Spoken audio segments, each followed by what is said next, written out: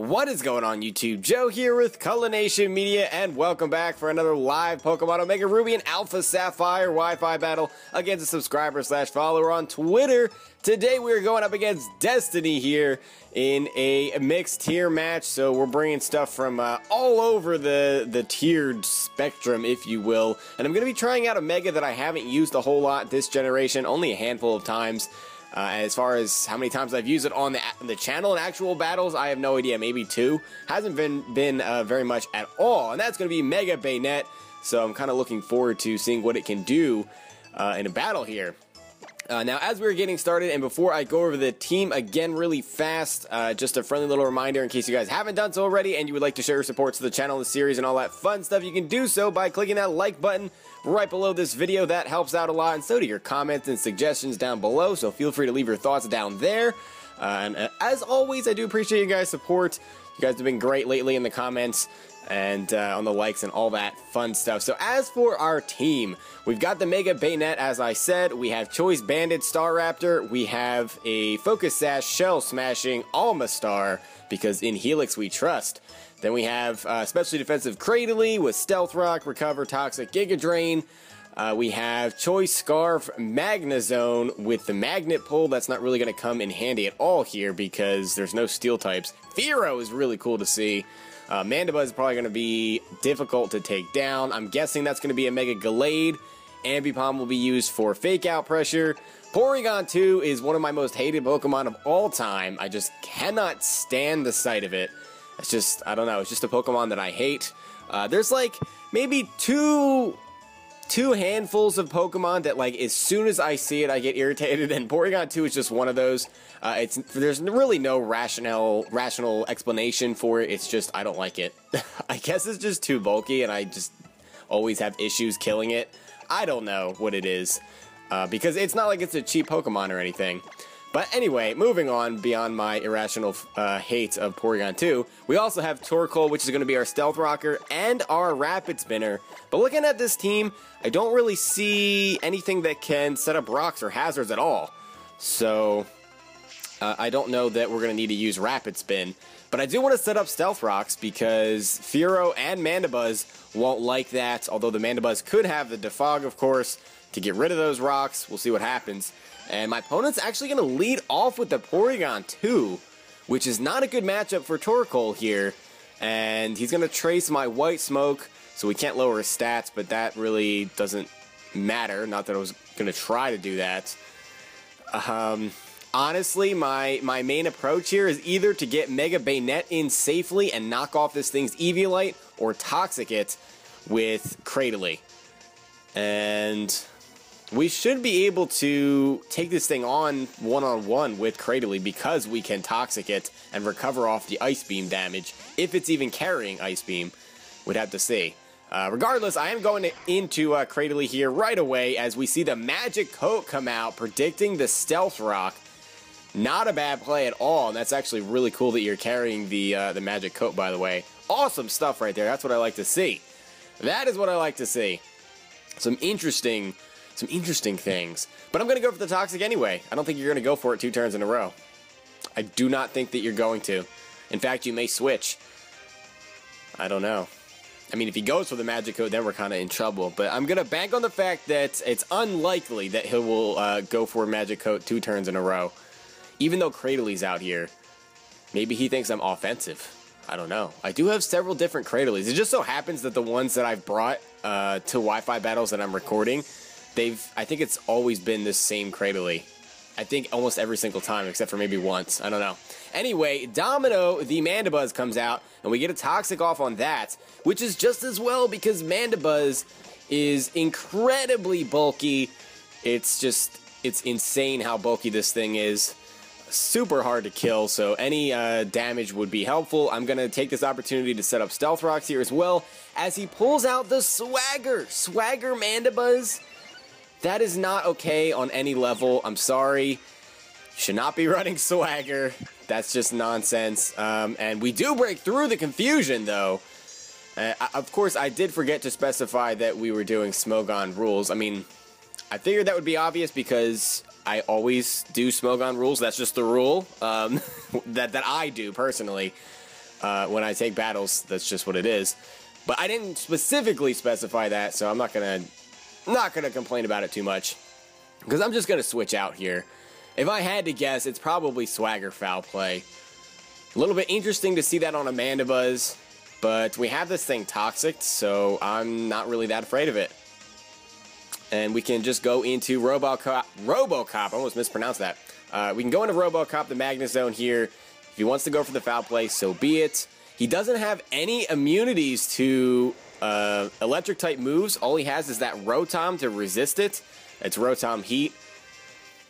So, we should be okay to just Volt Switch out here. Because either he leaves this Mandibuzz in uh, to take the Volt Switch, or he switches out and he has to take 25% coming back in because of the rocks. Especially because that's really his only Pokemon that I could see possibly having the, the Defog. But he hasn't used it yet. So we'll see. That Volt Switch actually does some decent damage to this Rotom Heat coming in. Uh, that actually is a little bit surprising how much it did. It might just be offensive, or maybe it is uh, physically defensive, which is somewhat common. Now let's see, how do we want to attack this thing? Uh, we could take this opportunity to go into Banette, but I don't want to get Will-O-Wisp. And actually, Banette can't do a whole lot. A Shadow Sneak won't kill from there. We could go into Torkoal, but I don't want to take an electric type attack. We could even go into Omastar and try to set up here. But I feel like our best and safest option is to go into Staraptor, which is Choice Banded, and we can fire off a Double Edge.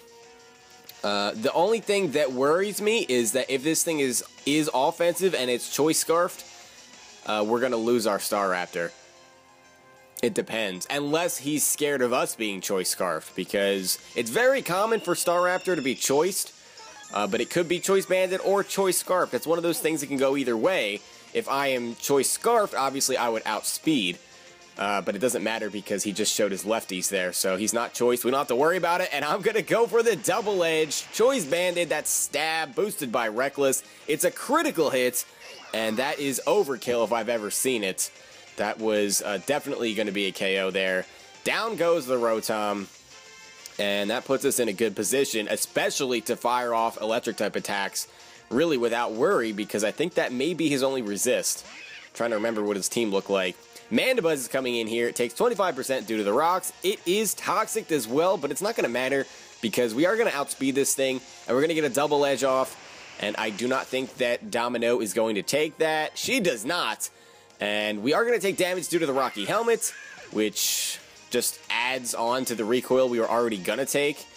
But still, we're sitting just above 50% of our maximum HP, which is not bad at all. Uh, considering we took out a Mandibuzz and a Rotom Heat back to back, not even bad. Uh, we have Ambipom coming out here, which does outspeed us. And he's going to go for the fake out, most likely, anyway. So I don't want to keep Staraptor out here for this. We want to save that for the quick attack possibility later on. So I'll switch in Robocop, the Magnezone, to take that. And yeah, that doesn't do that much at all. Uh, I don't know if I'm running enough speed to outspeed this, even with a Scarf, which is really sad because I'm not running max speed. I have some speed, but not max speed. It's a really weird setup that I have, um, and that might actually come back to haunt me right here, because this thing might outspeed me, but I don't know what exactly it would have to hit me with. It might just U-turn out, or knock off. No, he goes with a Fling with a Razor Fang. What in the world is this? And we're gonna flinch because of that? Now, if you have, like, acrobatics, that'd be really cool. Fling Razor Claw with acrobatics? Not even bad. I can't get mad at that. Uh, no, he has the Covet, actually. So he's going to steal our Choice Scarf as we Volt Switch out. So we have to remember that I don't have that Choice Scarf anymore. At least we can uh, switch between moves, but we're not going to outspeed uh, things that are just slightly uh, slower than Ambipom. Anyway, let's see what I want to go into here. Uh, from that range, we can actually just go into Staraptor to quick attack this thing because he definitely isn't going to survive that. And if he wants to switch out, he's really not going to have much HP left at all. In fact, I think he might only have just two switches from that range. right around right around two switches. In fact, the second switch may KO him. I don't know. But we are pretty safe to just go for the quick attack here. It's priority, it's stab, it's all that good stuff. And yeah, Ambipom is just definitely not taking that. Sora picking up a third kill of the match. She is putting in an enormous amount of work here. And I need to use Sora a little bit more often. Yet another Pokemon that I haven't used a whole lot because I don't battle in OU that much. I should bring her more to uh, Battle Spot where it's a little bit more acceptable to just bring uh, some OU Pokemon here and there. But uh, I tend to just battle lower tiers because I like them more, but that's just me. Anyway, Gallade is coming out here. I'm assuming this is Mega. Uh, and I don't want to just quick attack because that is not going to be KOing anytime soon. Especially because Mega Gallade has its uh, base physical defense patched up. Because it's like base 60 something as regular Gallade, and I think it goes up to 90 or 95 when it Mega evolves. Uh, plus, it goes up to 110 speed and like 165 attack or something like that. And just earlier today, it was moved uh, out of RU. Finally, I mean, it really wasn't there for that long, but still, it felt like an eternity when I was playing RU and just Mega Gallades were everywhere. Finally, got moved to BL2. Kind of happy about that. Uh, anyway, Porygon 2 is coming back out here. Kind of forgot about this thing. And we were switching in Torkoal. Hmm. Only nine minutes have gone by in this battle. Wow, I feel like this battle has been going on for a lot longer than that. More like 19 minutes. We've just been choosing our moves kind of quickly, I guess. Uh, do I really want to leave Torkoal in on this? I don't know that I do. I don't know that I do, especially because that Gallade is still around and I can take a close combat from it and possibly, you know, Will-O-Wisp it. But you know what? I'm going to say that we'll be fine. And there's the Tri Attack. That's going to do just over half, and we're going to get a Will-O-Wisp off. So I know it's not a Toxic, but at least it's some passive residual damage. And we might still be able to take a close combat from a Gallade. I don't know.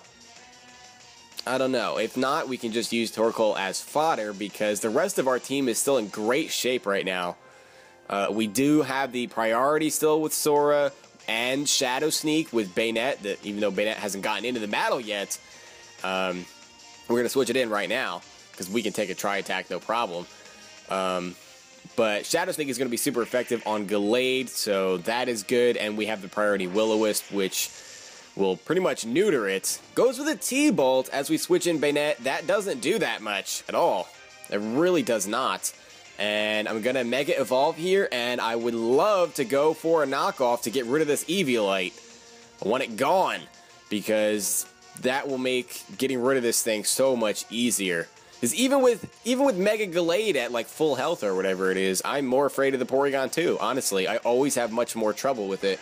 Uh, anyway, Fearow is coming out here. Is going to take 25% due to the rocks, and we're going to see Mega Banette take the field.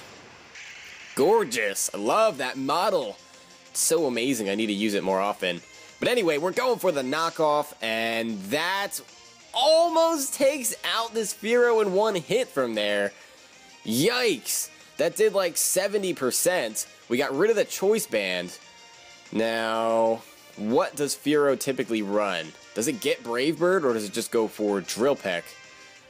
Drill Run, I know, is one that kind of sets it apart from its flying type brethren.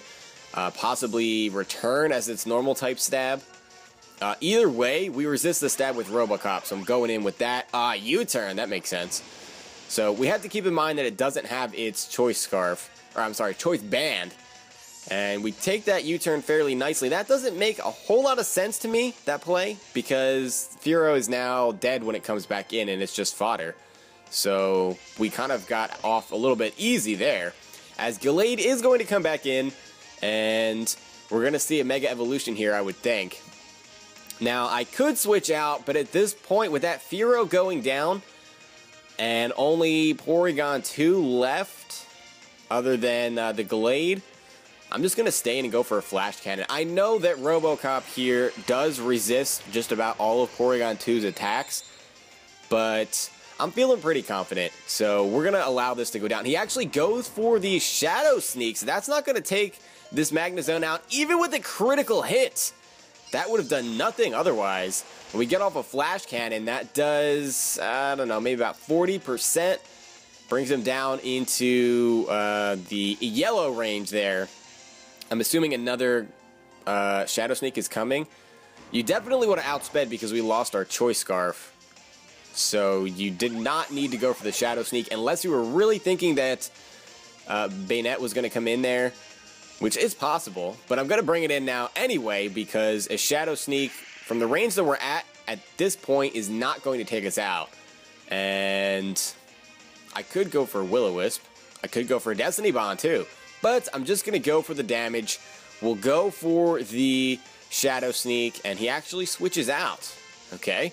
And he's going to go into the Porygon 2, predicting the Shadow Sneak or Will-O-Wisp. Either, you know, it doesn't really matter. He's going to trace the Prankster, which is not the best for us because now he has priority recovery. Um, but what we can do is, if you want to leave this in, I'm going to just knock off the Eviolite. I'm going to waste no time whatsoever doing that. He's going to go for the recover here as expected. That Prankster recover could become an issue. But at least we have the passive damage going. That's the important thing. I kind of wish it was toxic, but burn will do. Get rid of the Eviolite, and now we should be able to dish out some massive damage to this thing. And uh, we can, we might even be able to one-shot it with a, don't I have close combat on Sora? Does it matter? Does it really matter? No, I don't. I have Brave Bird, Quick Attack, Double Edge, U-Turn. I might still be able to just knock you out with a Brave Bird or a Double Edge, honestly. Uh, and then, of course, there is Conch, the Omastar, which I would love to get into battle here to finish things off. But I'm going to predict a Tri-Attack. And no, no, no, no. Why did I do that? I was out with a Ghost type. Don't. Why are you predicting normal type moves and going into? Oh my gosh. I'm trying to lose this match. So I just sacrificed my Staraptor for no reason. That was the dumbest play I've made in a really long time. Wow. That wasn't even... I wish I could say that was a misclick, but that was me just legitimately screwing up. There's no reason to switch in Staraptor there, predicting a Tri-Attack. And even still, Tri-Attack may have killed from there. What, what was I thinking? Get your head in the game, man. Come on. All right, we're going to go uh, into Conch now. And I guess the one good thing that comes out of that misplay was that I can come in here and go for a Shell Smash immediately. Uh, we have our Focus Sash intact because there were no hazards going up. He's going to go for the Recover. So he's not going to get up to full HP. He'll get kind of sort of close, but with the burn, he'll be only at about 75% of his max HP. And we're going to be able to outspeed, unless he goes for Recover, of course. And we'll be at plus two special attack. We can fire off a Stab Surf. And without the Eviolite, that might just take this thing out. And if it does, we're in an amazing position. Absolutely amazing position. And yes, the Porygon 2 without that Eviolite cannot take the plus 2 Surf from Omastar. And this is perfect because we are not down to our Focus Sash yet. Um, so he's going to bring the Glade back in. He'll take a tiny bit of damage due to the rocks. Uh, but if you want to go for Shadow Sneak, be my guest. It's unstabbed, and, you know, like I said, our Focus Sash is still intact. So you want to get that little bit of damage. That's pretty much going to be the end of the match because all he has left is Fearow, and that is going to go down due to the rocks upon re-entry onto the battlefield. So I believe that is a 4-0 in our favor, unless I am forgetting that he has a Pokemon still alive, in which case it may not be a 4-0. Let's see here. Let us see here. Yes, that is going to be it. So it'll be a 4-0 in our favor. Thank you very much for the match, Destiny. I'm sure we'll have another one uh, in the future. I hope you guys enjoyed this one. A little bit of a short one. Uh, but since we just had like a 40 plus minute battle not that long ago, this was uh, on the other end of the spectrum. So it's always good to uh, have a nice little variety. Like I said, hope you guys enjoyed this video. If you did, please make sure you're leaving a like rating or a comment or whatever you would like to do. And I will see you all next time. But until then, game on.